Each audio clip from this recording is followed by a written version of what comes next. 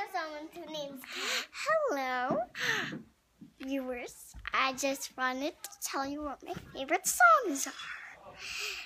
My favorite songs are Touch Me Like You Do and um, Love Lockdown and a couple, a couple others. So see you next time, viewers.